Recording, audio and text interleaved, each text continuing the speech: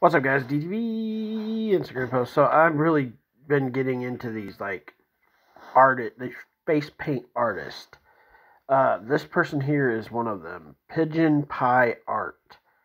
Uh, this girl is freaking amazing, guys. Like this is some of the stuff she does, and I'm just amazed.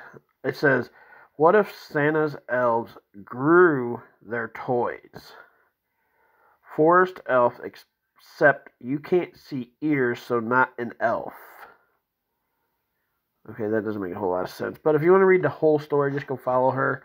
Um, it's a pretty big article. Like, if you really want to read all that, uh, I just think it's freaking amazing what she did here. It's absolutely awesome. Like, there's like, I don't know, just to take the time and the patience it would take to just make this. It's just awesome. Go follow this person because that's freaking awesome. Awesome.